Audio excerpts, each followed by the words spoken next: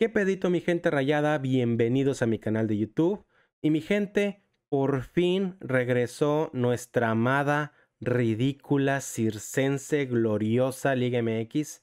Después de casi 50 días sin actividad de rayados, con mucha especulación, con muchas dudas, con algunos cambios, con algunos refuerzos, con la salida de Funes Mori, eh, muchas cosas giraron en torno a este inicio de campaña, pero por fin empezamos. Y qué mejor manera de empezar la temporada que ganando en casa.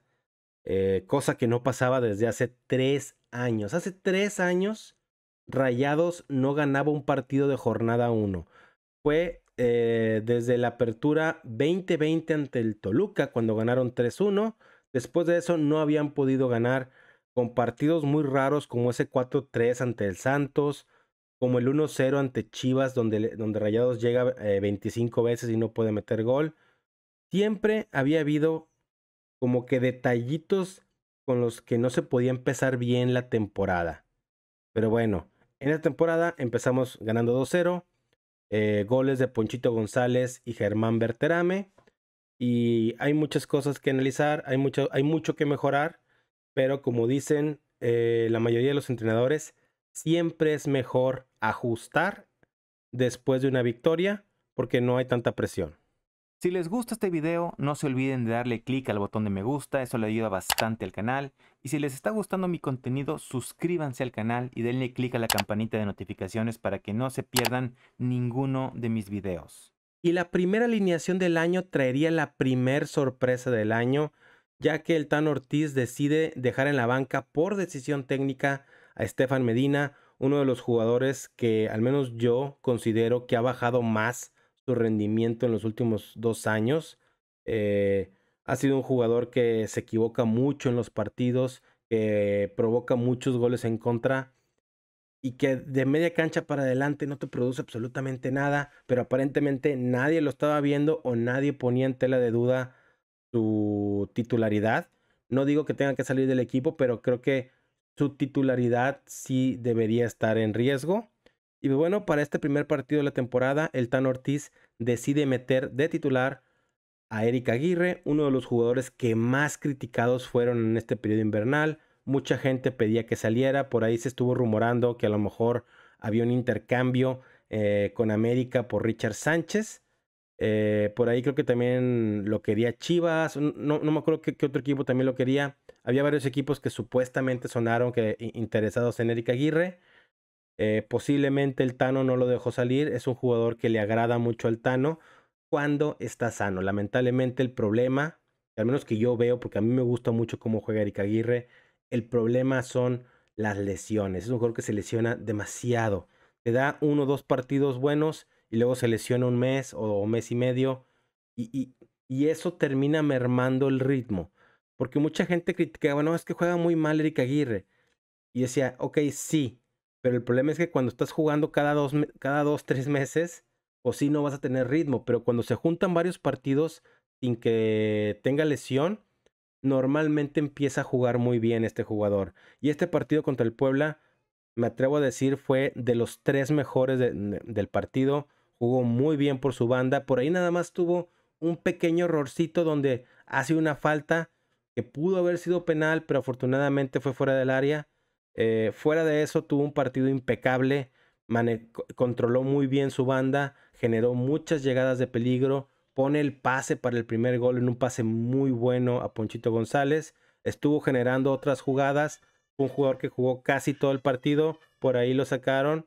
Eh, creo que si puede mantener este nivel, va a ser un jugador muy importante para este equipo, sobre todo si deciden poner a Maxi Mesa del lado derecho. Lo he hablado muchas veces. Maxi Mesa juega mucho mejor cuando tiene por la banda a Eric Aguirre. Entonces, creo que eh, entre más se pueda mantener sano este jugador, mejor va a ir mostrando su nivel, va a ir mejorando su nivel y más le va a ir ayudando a Rayados, sobre todo en el sistema que quieren imponer. Y si bien Erika Aguirre tuvo un muy buen partido, creo que todos estamos de acuerdo que el mejor jugador de Rayados este sábado fue la Sabandija Andrada. tiene al menos tres jugadas, tres atajadas muy importantes, dos de ellas increíbles para mantener el cero y en su momento mantener la victoria, porque cualquiera de esas tres jugadas hubiera sido el empate. Creo que una de ellas hubiera sido el gol de la ventaja de Puebla, porque una de esas jugadas fue en el primer tiempo, luego tiene dos atajadas muy buenas en el segundo. De nuevo, otro jugador que ha sido muy criticado por la afición rayada, para mi punto de vista injustamente, es un jugador que sí ha tenido sus errores, ha tenido sus detalles, pero al menos la temporada pasada y lo he dicho varias veces, fue el mejor portero del torneo regular. Fue el portero con más porterías en cero, eh, la segunda mejor defensa y el portero con mayor efectividad de atajadas de toda la liga. Y todavía había gente que quería que se fuera en este mercado invernal, querían traer a Thiago Volpi o querían traer a otro portero. Y afortunadamente para nosotros, les calla el hocico a todos teniendo un partidazo contra Puebla. Eh, también hay que decirlo, si tu portero es el mejor jugador del equipo, algo se hizo mal y creo que es la parte en la que se va a criticar, pero al menos Esteban Andrada cada vez se ve más seguro, cada vez se ve más sólido y cada vez se ve más líder dentro, dentro del equipo. Eh, el día de hoy tuvo conferencia de prensa y se ve una persona muy humilde, muy noble, eh, muy centrado, sabiendo que los errores de vez en cuando van a venir, pero lo importante es que hagas después de los errores. Eso es algo que también yo siempre he dicho de los porteros, cómo te repones de cometer un error, cómo te repones de una situación adversa. Y Andrada siempre ha demostrado tener ese temple, tener esa sangre fría para poder eh, mantener el barco a flote cuando se te está hundiendo, por ejemplo, ¿no? Eh, también es un jugador que en liguillas no comete errores en clásicos no comete errores. Eh, normalmente hace buenas actuaciones en los clásicos. Lo único que le critican, o lo más que le critican, es que no ataja penales. Que de hecho la temporada pasada atajó un penal. Entonces eso ya se les quitó a los haters de la sabandija. Pero creo que tenemos un portero eh, para largo con Esteban Andrada y que está demostrando ser lo que necesitaba este equipo te apoya en, eh, sobre todo un punto que Rayados es débil, eh, porque los, no tiene centrales tan altos. El juego aéreo. La sabandija te ayuda mucho en el juego aéreo porque sale mucho y es muy dominante en las salidas. Eh, de repente parece que está saliendo medio, medio lo baboso, pero siempre logra cortar, siempre logra detener los centros, ¿no? Y, eso es muy importante para Rayados. Y, creo que, o espero que se empiece a ganar la confianza de la gente, sobre todo de los que lo están reventando, que a lo mejor nunca se va a ganar la confianza de ellos. Eh, por ahí muchos de los que lo reventaban, curiosamente, eran de los que más apoyaban a Hugo González, cosa que se me hace algo curioso.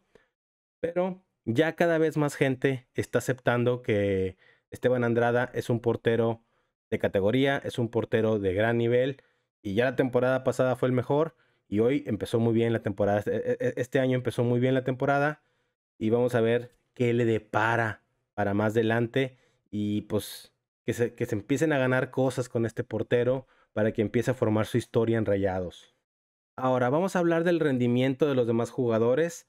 Eh, hay cosas buenas, cosas malas. De lo mejorcito que, que en Rayados, Jordi Cortizo Creo que sobre todo en el primer tiempo fue el que más intentó, fue el que más estuvo, fue el jugador diferente en Rayados, el que estaba tratando de, de, ser el creativo, el que estaba empujando todo eso. Participa en el primer gol, Jordi Cortizo hace una muy buena jugada para extender la bola a, a Aguirre. Eh, todavía siento que falta que pese más en el marcador. Es un jugador que te produce mucho durante el juego pero no se refleja en los marcadores. Eh, eso fue lo que, lo, que vimos la temporada pasada. Eh, quiero creer que con el paso de los partidos va a seguir asentándose este jugador. Faltará ver qué pasa con su posición una vez que lleguen los refuerzos, o una vez que ya puedan jugar los refuerzos, que regrese Canales, que regrese Tecatito.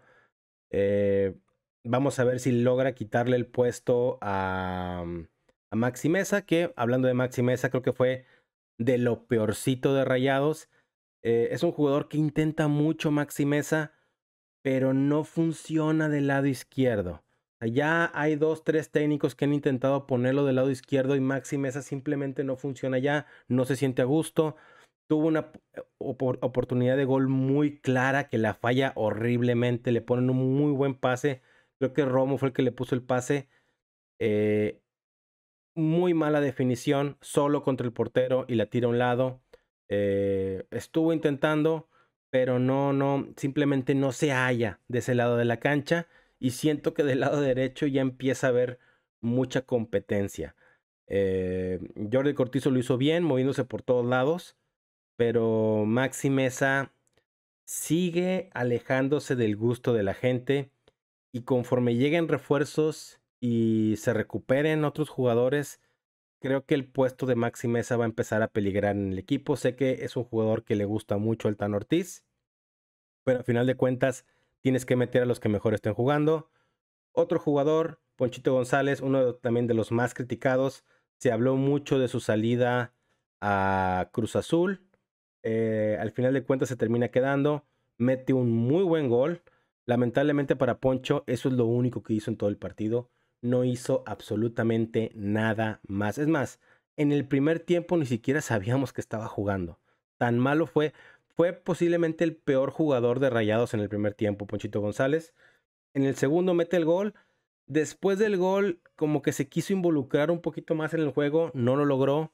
Simplemente creo que la intensidad que intenta poner Rayados o que intenta poner el Tan Ortiz en Rayados simplemente es, un juego demasiado dinámico para las capacidades de Ponchito González, que es un jugador muy técnico, muy habilidoso, pero es lentón. Entonces, para este estilo de juego dinámico que quiere poner Rayados, no, no encaja muy bien Ponchito González. Obviamente va a ser posiblemente el que va a perder su puesto cuando regrese Canales y cuando ya entre en eh, posiblemente Corona o Brandon Vázquez, el que va a perder su puesto es Ponchito, ¿no?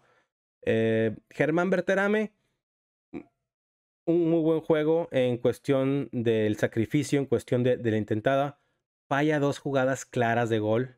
Una enfrente del portero, donde sí tiene la molestia del central, pero para alguien de la calidad de, Berterame eh, se le pide que metan esas. Va a tener, va a estar en el foco del huracán toda la temporada, porque los Funelovers lo van a estar, o ya, desde ya lo empezaron, lo van a estar reventando constantemente. Lo van a estar reventando constantemente los Funelovers y van a estar viendo cada vez que falle una, van a decir, uy, mire, este güey también falla. Y, lo estuvieron haciendo durante el partido. Afortunadamente para él y para su confianza, termina metiendo un golazo eh, en una jugada muy interesante donde hace la finta como que va a centrar el portero se come la finta completamente y mete un muy buen gol. Es muy bueno para Rayados que Berterame empiece su primer partido, sobre todo en casa, metiendo gol, para la confianza, para, para el ritmo. Vamos a ver qué pasa con Berterame una vez ya que llegue Brandon Vázquez, porque por ahí andan diciendo que lo van a meter de, de, de extremo izquierdo. No me gusta tanto la idea, sobre todo de extremo izquierdo, porque Berterame es derecho Vamos a ver cómo pueden acomodar a este equipo una vez que ya estén todas las piezas disponibles. Eh, pero vamos a decir un buen juego a secas eh, de Berterame. En el medio campo está muy interesante. Porque Romo hace una jugada extraordinaria para el segundo gol. Él la despeja. Él corre todo el campo y se la pone muy bien a Berterame. Básicamente tres cuartos del gol son de Romo. Lamentablemente el resto de los 90 minutos Romo estuvo desaparecido. Por ahí hay mucha gente que dice que dio un juegazo. Sigo sin entender esa campaña que se tiene para que Romo sea un ídolo y que no se le critique. Eh, y, y, simplemente por todas las alabanzas que le dan a Romo, yo estoy esperando un nivel más alto. Y Romo, si bien no cometió tantos errores, no fue relevante en el partido, no, no, no fue, no pesó, no, no contuvo la media cancha, de hecho se perdió la media cancha como siempre.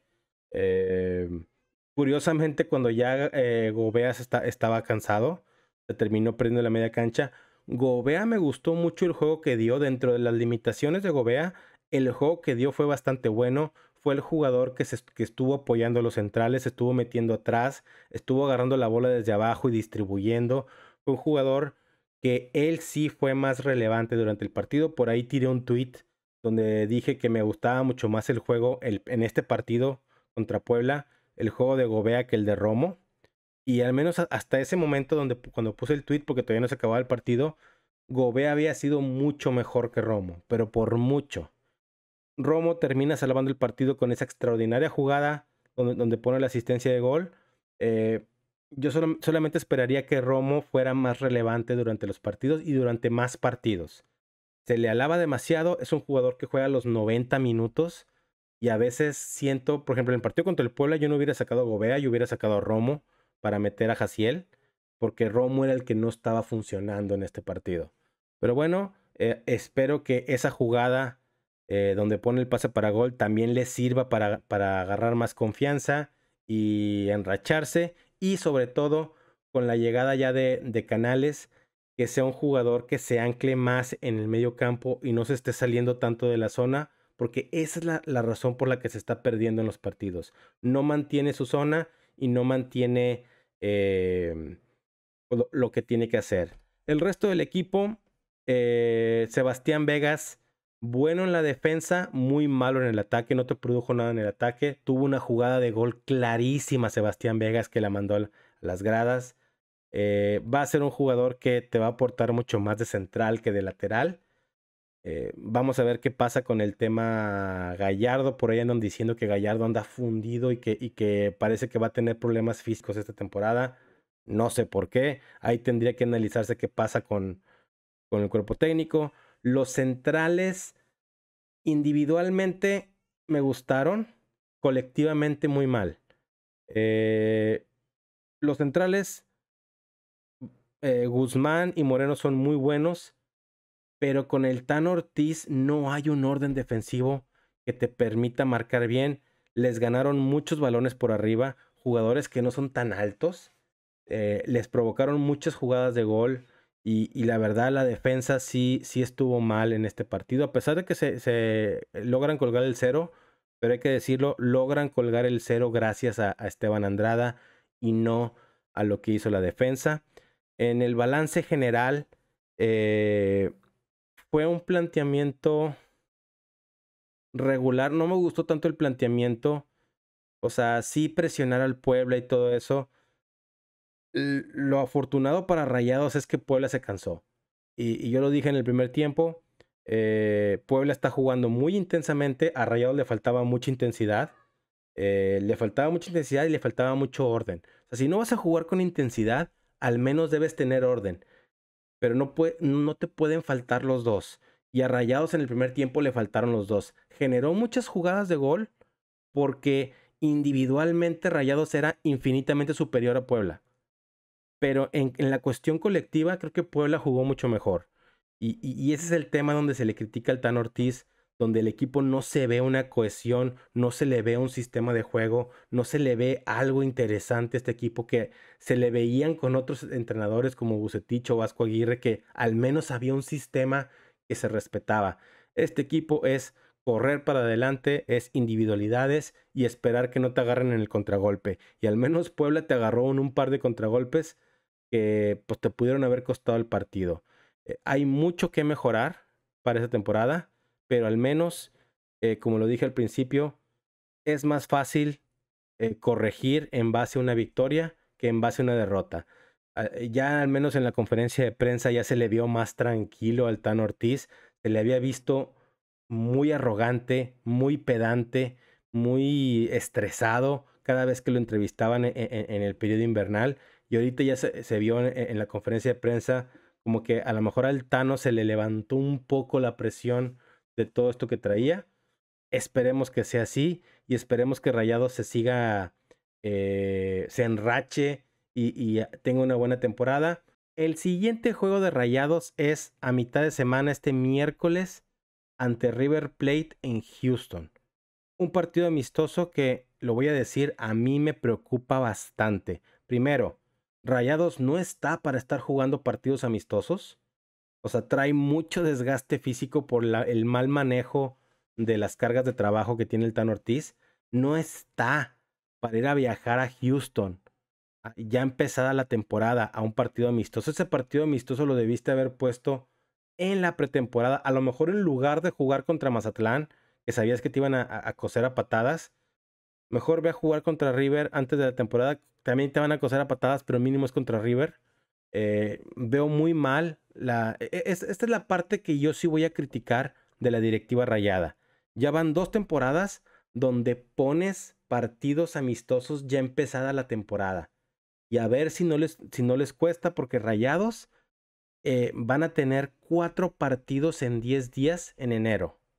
Va a tener este, después el domingo van contra Santos, después los siguientes no, no sé cuáles, pero por ahí también va a estar un partido de la Conca Champions, creo.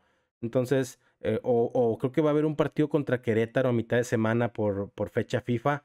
Entonces, tienen que planear mucho mejor las temporadas rayados, porque no puedes estar poniendo partidos amistosos ya empezando la liga.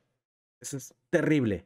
Espero que el Tan Ortiz tenga la visión de no usar ni a Canales, ni a Tecatito, ni a los jugadores que jugaron contra Puebla en este partido. Que use a los, a los nuevos que van llegando para que, para que se vayan adaptando, que use a los chavos. No vayas a usar a los que están teniendo problemas de sobrecarga muscular en estos partidos. Sería un error completamente imbécil y estoy seguro que lo van a hacer.